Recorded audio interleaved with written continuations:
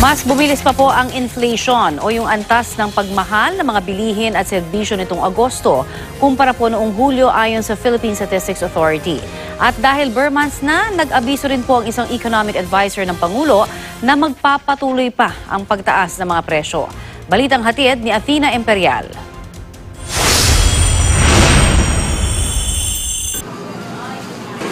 Mga pagkain at non-alcoholic ang pangunahing nagtulak ng presyo ng bilihin nitong Agosto ayon sa Philippine Statistics Authority. Pero sumakay rin ang dagdag gasto sa mga utilities, pati sa transportasyon. Ang resulta, bumilis ng 3.1% ang pagmahal ng mga bilihin at serbisyo nitong Agosto. Mas mabilis sa pagmahal ng bilihin noong Hulyo.